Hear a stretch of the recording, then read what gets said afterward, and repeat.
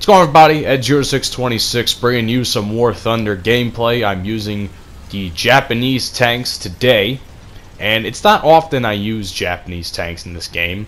But if you guys remember, there might have been a, I don't know if it was the 7 year anniversary montage or what. But there was, on this map, I had a sick fucking thing that happened to me. I, I don't know if it was the, the most recent uh, anniversary montage or last year's anniversary montage, but I really, um, I really had a great moment in this, uh, in this, uh, on this map where I was using this tank specifically, I think, and some jackass was trying to rush, bum rush me, trying to catch me off guard. Lo and behold, uh, he tried to ram me. I absolutely, I shot his, uh, his turret and it penetrated and I ended up destroying his tank.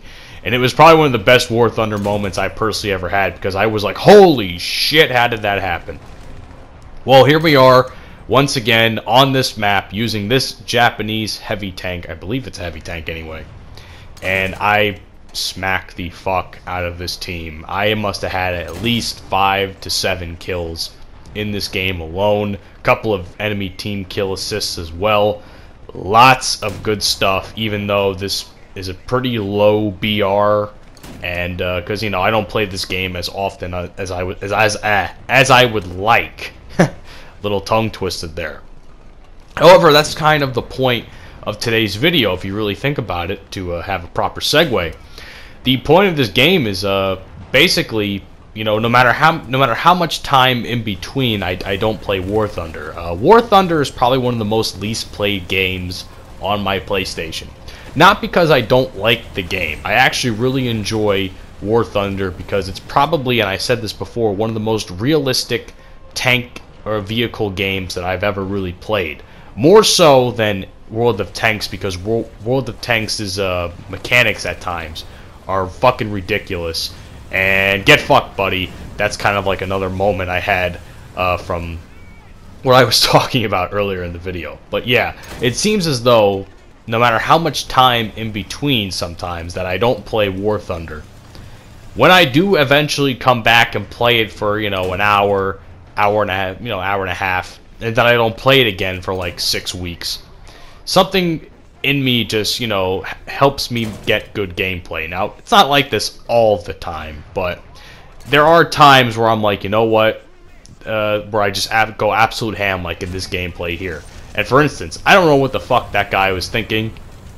I think he was in like a BT-7 or a version of the BT-7. BT-7's armor is not good. I know this from World of Tanks. It's not good armor. So the fact that he even gave me his side armor to shoot at is beyond stupid, which is probably one of the better places to shoot a tank. Side armor or behind. But yeah, man, it's like every time I play this game, it's like, yeah, there's a couple of uh there's a couple of uh games where it takes getting used to again. You know, maybe I don't do so good, but at the same time, you know, there are games like this where I just go absolutely ham and I just shit on the entire enemy team. I mean, in this portion of the game alone where I was using this tank, I think I'm about to get destroyed right here.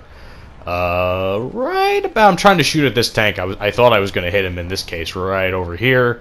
As soon as I made that shot, dead. Don't know where that shot came from, don't care. But, like, I, I had five kills alone with that tank, and I was just, like, going absolute ham with it. It, it takes a lot of damage, I'll tell you that much. But yeah, it's it's really good, man. I really do enjoy this game, and every time I come back to it, like I said, it just you know it takes me a little while to get used to the mechanics and the controls again. Once I get the hang of everything, that's when uh, you know the shit starts to roll. It really starts to come back to me, and you know then I watch a lot of PhlyDaily too, which is arguably one of the most, probably the biggest War Thunder YouTuber that I know of personally and he you know watching his videos have really helped me more or less kind of focus on my uh, what's the word I'm looking for? My strategy when it comes to playing War Thunder. Like for instance earlier in the gameplay my first goal was to try and take the high ground. Once I realized the tanks were not able to be shot at from here I started pushing up a little bit deeper.